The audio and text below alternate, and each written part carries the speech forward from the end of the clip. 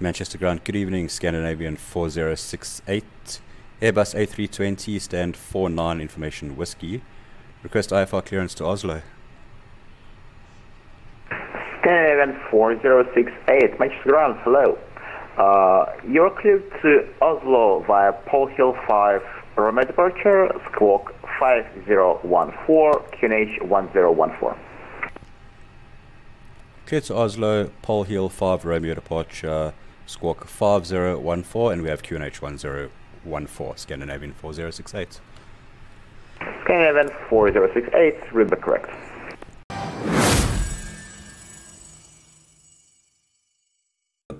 Hello Sim Pilots and thank you for joining us once again for another Microsoft Flight Simulator video.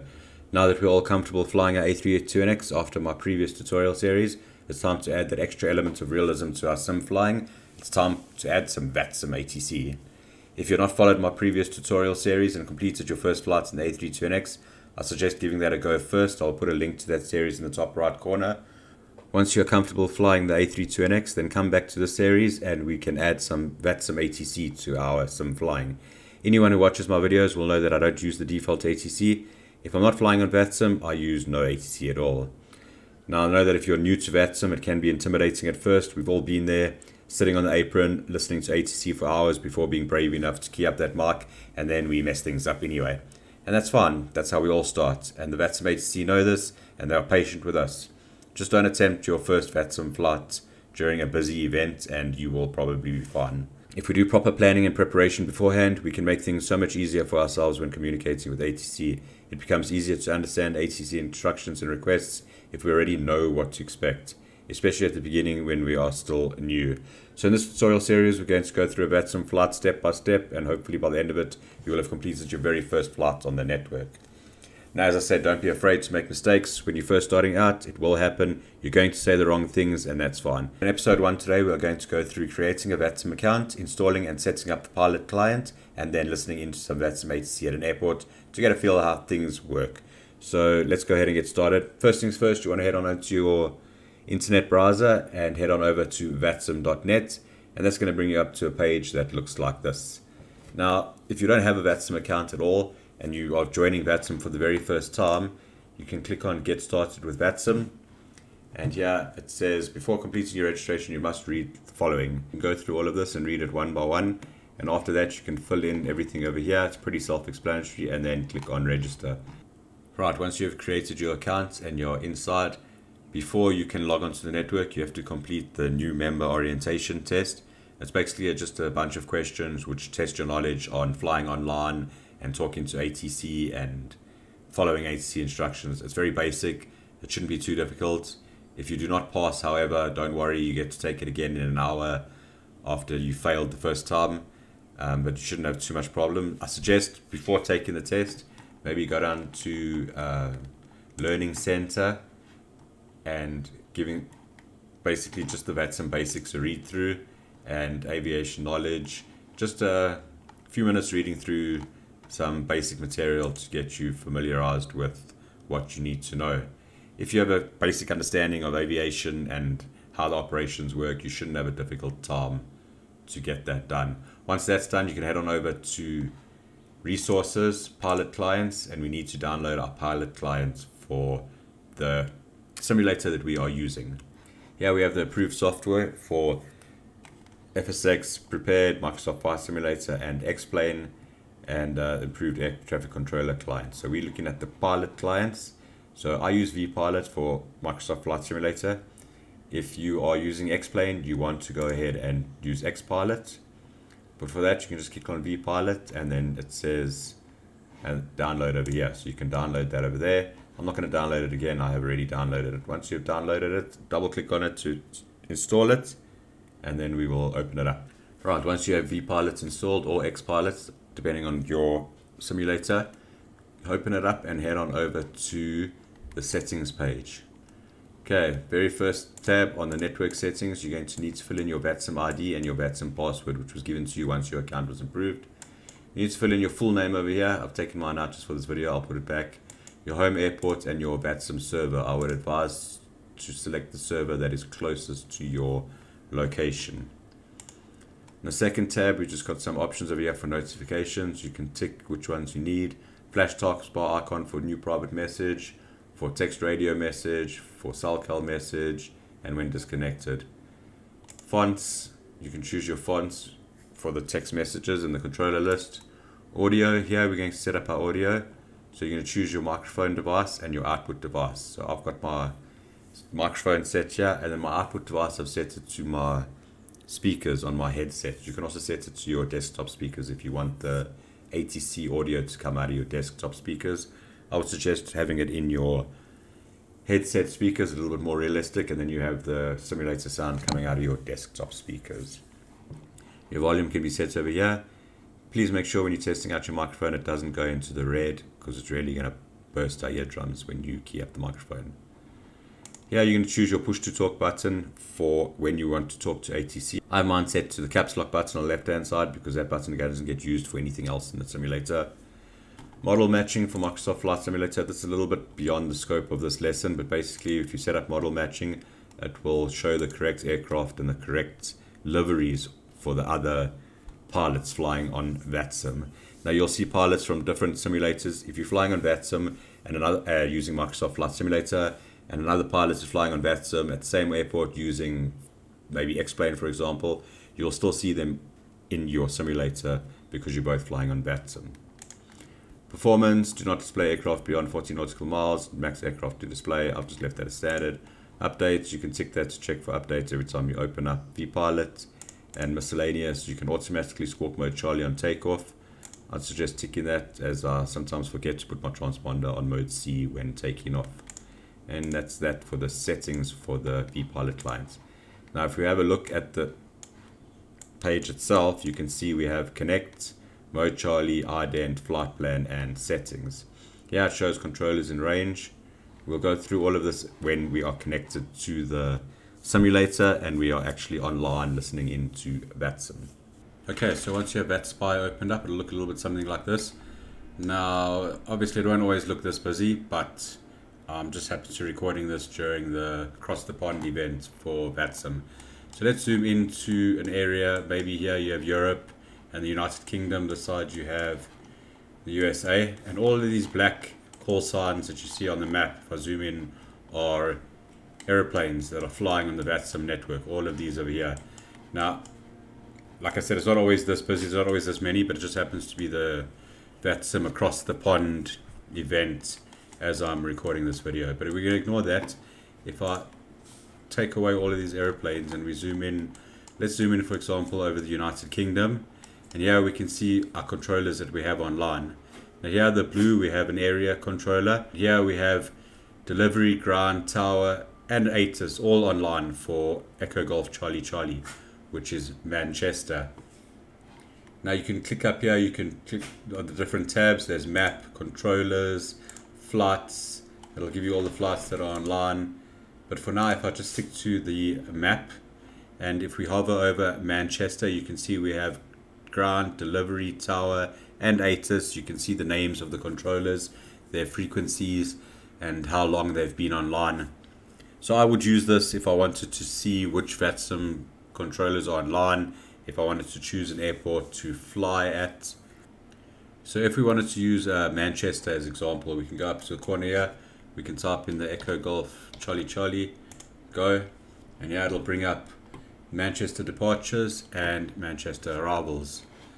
Over here in the top left, you can see the positions that are online, their frequencies, the name of the controller, their controller rating, what facility they are running, and uh, position and how long they've been online.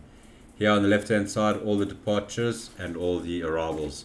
So you can see these aircraft that say are departing, they are probably still on the ground at Manchester and it shows you where they are flying to. The ones with the ETA with the times they've already departed and it's showing you the estimated time of arrival where they are going to arrive at their destination.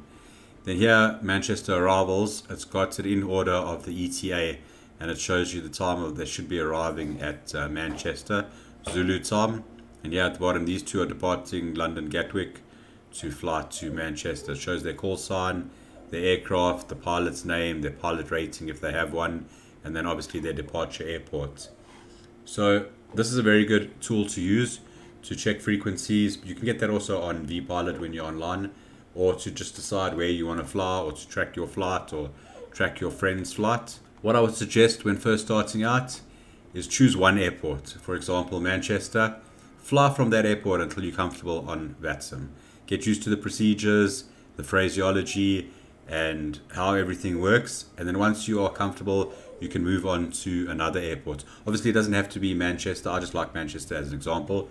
That's where I first started flying out when I started flying on VATSIM uh, quite a few years ago. Obviously, if you have your own airport or your home airport where you would prefer to fly from, if you're lucky enough to have VATSIM at your home airport. Another good source of information, if your region has one, is to check out their own website. For example, VATSIM UK has their own website with all the information required. If I bring it up, if I go to VATSIM UK and you have a look at their website, yeah, it says uh, Welcome to VATSIM UK. And if you go to pilots, you can see there's charts, airports. Uh, if I go inside their website, you go to operations, you can go to airfield information, and then look for the airfield you want to fly from. In our example, it is uh, Manchester. There it is there. And here it shows you the current METAR, and it will give you the departure procedures, arrival procedures, VFR procedures. Now we're only going to concentrate on IFR procedures because we're going to be flying the A32NX when we do eventually do a VATSIM flight. So we'll be looking at the departure procedures and the arrival procedures. You can also download the ARP for the airport. And then obviously here they've got some charts as well if you don't have your own charting software. I use Navigraph. And then over here you can see the online controllers and the pilots. So yes, it's a good piece of information to have when you first start flying out. You can give it a read through, see how their runway operations work, how their parking stands are assigned, and so on. We're not going to use that right now, but what we are going to do is we're going to jump into the simulator. We're going to head on over to Manchester and we're going to do a little bit of observing while they seem to be quite busy uh, with all the controllers online. So let's do that right now. Okay, so here we are inside the sim. First thing you want to do is head on over to your options, general options, and uh, traffic, and make sure at the bottom you've got all your generic traffic and multiplayer traffic off because we're going to only be using VATSIM traffic for this flight. Then we can go over to world map. Choose our departure airport, which is Echo Golf Charlie Charlie. Let's uh, zoom in and find a gate somewhere in the middle of the airfield or near the runway so we can see as well. Let's choose this one over here, set as departure. Okay, with our departure set, we can check our flight conditions. Make sure that you got multiplayer off, air traffic off, because we only want to see VATSIM traffic. Aircraft, uh, we're not going to be flying today, so it doesn't really matter which aircraft that we choose as long as we can uh, start the engines and turn on the radio so we can listen to the ATC. I'm just going to use the 152. Alright, so here we are inside the sim in Manchester. We have a very empty airfield, no traffic around us. If I uh, zoom out to show around the airfield, you can see there's absolutely nothing in sight, all empty, nothing on the runways. So let's go ahead and change that by uh, bringing up vPilots. So once we've got vPilots opened up, we can connect. Click on connect. Call sign for today doesn't really matter. We're not going to be flying, so it's not relevant. Type code, we had a Cessna 152, so we type C152 and we can just select that there. Again, it's not really necessary for today. Make sure connect in observer mode is ticked on so you can click on connect as observer because today we're going to be just observing. We're just going to be spectating and listening into ATC and looking at the other aircraft on the airfield. We won't be showing up on their radar screens so they can't see us. We're just going to be listening in.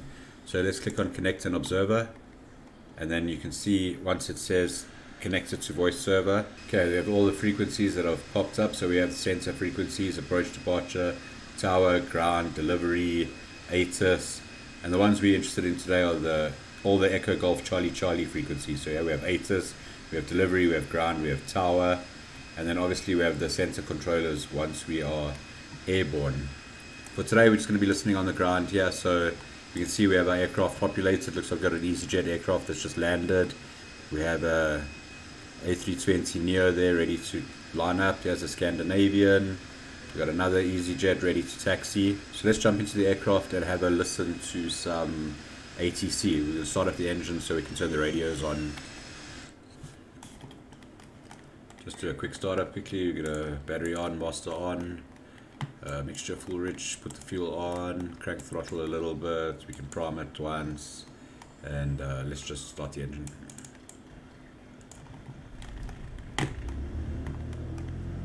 Okay, there we go. We've got an engine start. Make sure the parking brake is set. That's fine. And the radios. Can't really see the frequencies because of the sun. But it's okay.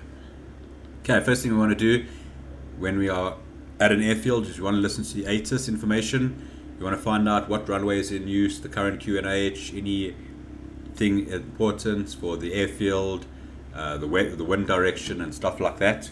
So let's bring up vPilot again. And here we can see Echo Golf Charlie Charlie ATIS frequency is 1 to 1 decimal 975. And uh, so if we tune that in on the radio, we should be able to hear the ATIS. So 1 to 1 decimal 975.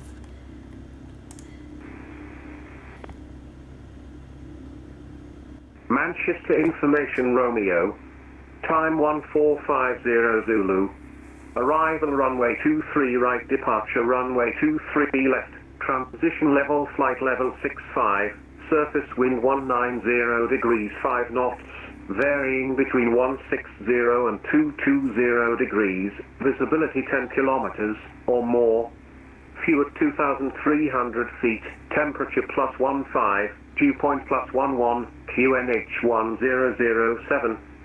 Threshold QFE 998 hectopascal. Acknowledge receipt of information Romeo. And advise aircraft type on first contact. Right, so there you have the ATIS Manchester information. Information Let me just stop that for you quickly. So the important thing we want there is obviously the ATIS information, which is the information letter that they assign each ATIS report. So the ATC knows you've listened to the ATIS, they're going to require that from you. You obviously want the runway that they're in, use, so you know where you're going to depart from, so you can plan your departure. And you also want, for example, the weather and the QNH or any other significant information.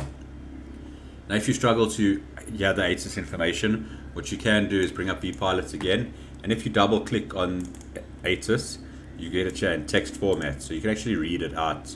So it'll tell you arrival runway 23 right, departure runway 23 left, transition level is flight level 065, surface wind 190 at 5 knots, varying between 14, 1, varying between 140 and 230, visibility more than 10 kilometers, few clouds 2,800 feet, temperature 16 dew point, and so on. There's a QNH. Acknowledge receipts of information Sierra. So this is the ATIS information information Sierra. So you'll give that to the delivery controller or the ground controller, depending on who's online, when you request your departure clearance. So now that we've got the ATIS and we know we have information Sierra, we have runway 23 left for departure, and we have the QNH of 1007. Those are the three most important things you want for requesting your departure clearance. So now we're going to tune into Manchester delivery, which is 121.700, and this is the controller that's going to be giving all the departure clearances to the aircraft. Let's uh, tune in that frequency right now. It's 121.700. Let's listen to a few examples of some departure clearances. If we bring up VATSpy and we go to Echo Golf Charlie Charlie again, we can see the departures. It should be one of these aircraft. If they haven't already called for departure clearance, we should hear them shortly. Okay, I've just moved myself a little bit further away. Mike, Manchester delivery, Blue Panorama 521 with a 737-800 requesting IFR clearance to Aberdeen. Blue Panorama uh, 521, hello. Report your stand number. Uh, Ram 211, Blue Panorama 521.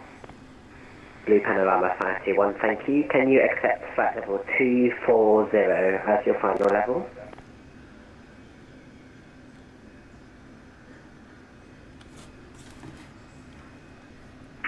Should be okay, Blue Panorama 521. Should be? Lovely. So, cleared to Aberdeen.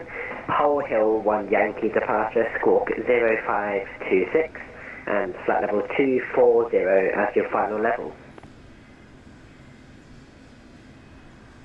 Uh, cleared to Aberdeen via the 1 Yankee departure, squawk 0526, Blue Panorama 521. Blue Panorama 521, Pole Hill 1 Yankee departure, that's Papa Oscar Lima 1 Yankee.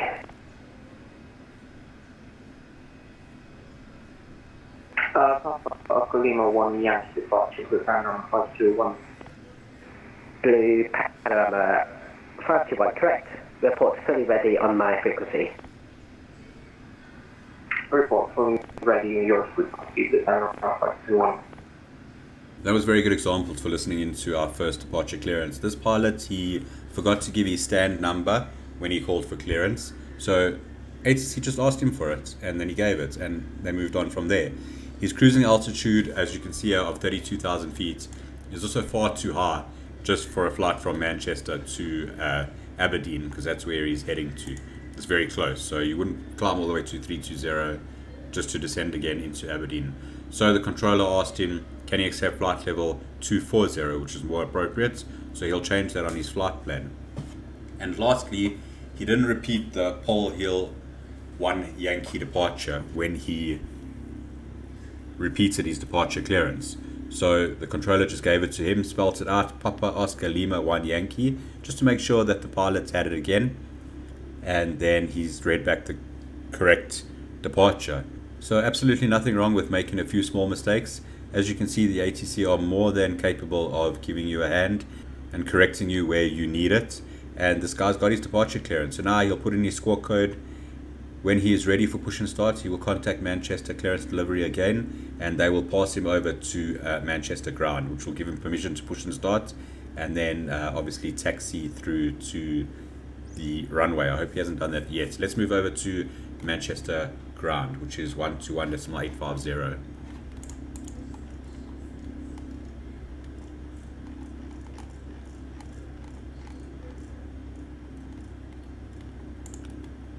Thank you, sir.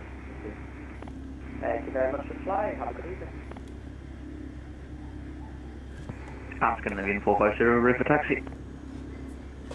Scandinavian 450, taxi holding by Foxtrot 1, the Juliet Foxtrot, and Kilo.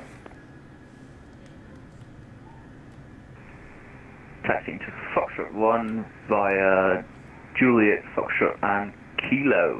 Scandinavian 450. Right, so Scandinavian has just been given taxi instructions, taxi to Foxtrot 1, and it's very important. Juliet Bravo 001, Manchester Ground. I just need to mute this again while I talk. So it's very important that you have your ground charts available when you're flying on VATSIM so you can follow the taxi instructions that you are given by the ATC and make sure that you don't cause any traffic conflicts. So I use Navigraph. If I bring up Navigraph quickly just to give you an example. Okay, Echo Golf Charlie Charlie. Let's look for the ground chart. So taxi, let's go to airport.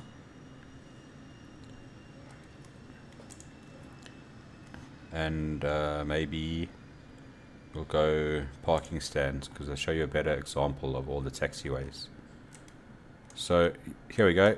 That aircraft was parked there on Juliet Foxtrot, Scandinavian, and he gave him instructions. Juliet Foxtrot, Scandinavian 450, contact tower 118.625, have a good flight. Contacting Tower 118.625. Thank you very much. Have a good day. Juliet Foxtrot, Bravo, Manchester Kilo, Ground, Blue Panorama 521. to Foxtrot 1. 1, uh, ready for pushing start. Blue Panorama 521, stand 211, pushing starter through, facing south. Through facing south. Blue Panorama 521. and to Foxtrot 1, where he's passed him over to the Manchester Tower, which will give him permission to cross the active runway. This is the arrival runway to continue taxiing over to the departure runway. Now, while I was talking there, the first pilot that we listened to get his clearance has requested pushback and start. Bravo 001, Manchester ground, are you with me? Okay, that aircraft has gone on to tower's frequency now, has given him permission to cross the runway, and he will obviously give him takeoff clearance once he gets to the departure runway, which is that side. Tomjet 7, triple one, ready for taxi.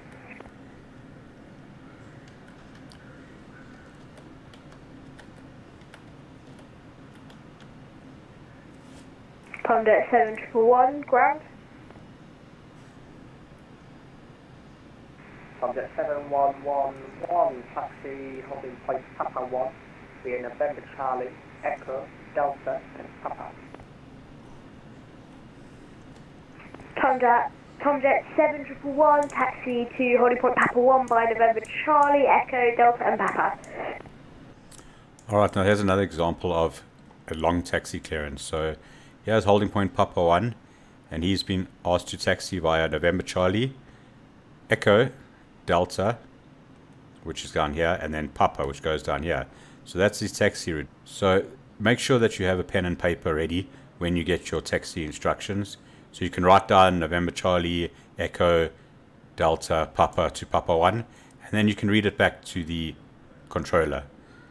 Taxi to Papa 1 via November Charlie, Echo, Delta, Papa, and then you'll... Manchester ground, good day. One Papa Golf at stand 4-1, ready for and start. Eurowings 1, Papa Golf, stand 41, push and start approved, straight push, QNH 1007.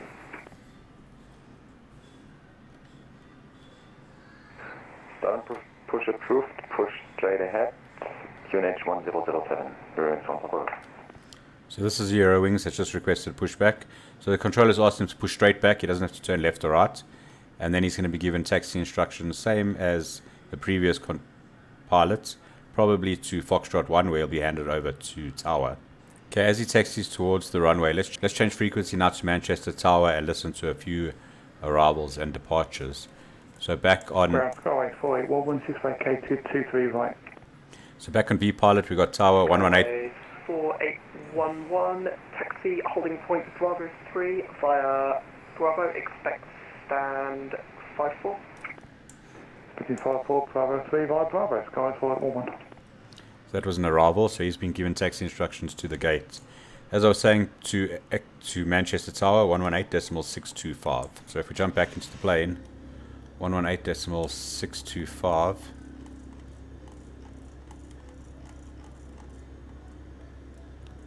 is Manchester Tower.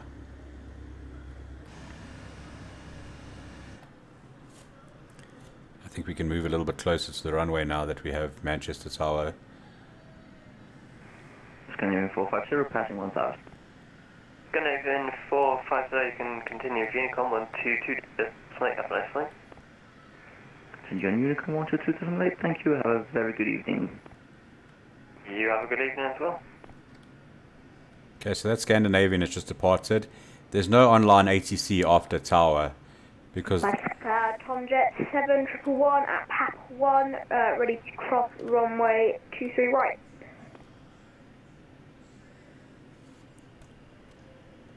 Tomjet 7 triple one, if you're ready to cross, uh, actually you can disregard that because this is now cross from final, hold position.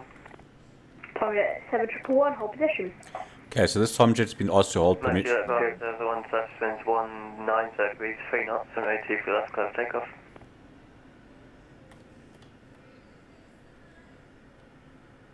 Okay, he should be repeating his takeoff clearance, that little plane. Okay, but this aircraft's been hold, told to hold position on 2-3 right because there's an aircraft on final. There was. Maybe he's going around. Maybe that's not him.